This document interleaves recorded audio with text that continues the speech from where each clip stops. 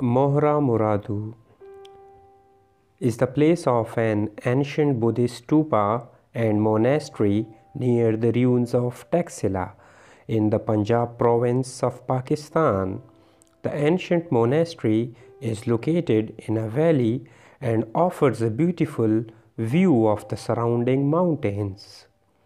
The monks could meditate in all stillness at this place but were near enough to the city of Sirsukh to go for begging as it is only around 1.5 kilometer away.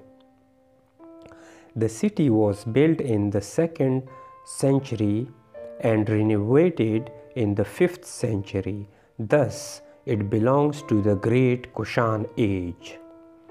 The ruins consist of three distinct parts, which include the main stupa, a votive stupa, and the monastery, and have been included in the World Heritage List of the UNESCO since 1980.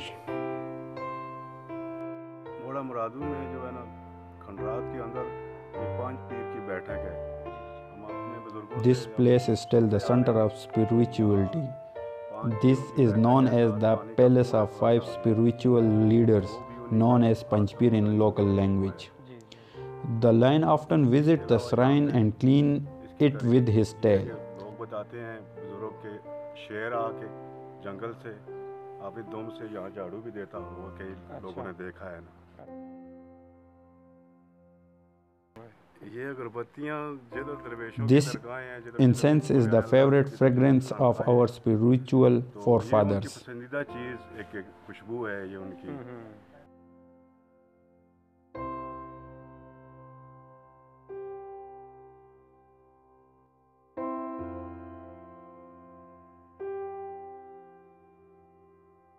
The ruins of Mohra Muradu were excavated under the supervision of Sir John Marshall in 1914 and 15. They consist of a Buddhistic monastery and two stupas. The main stupa is built on a foundation more than 4.75 meters high.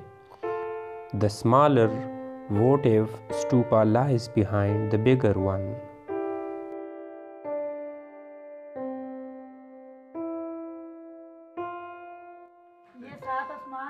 These are the seven sky and seven lands. Buddhists from around the world frequently visit this site as we goes to Arabia for the holy pilgrimage.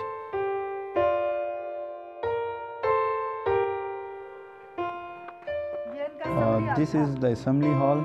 Above is the kitchen, and nearby is the water tank and a store where they used to store wheat. This is the blender for their wheat.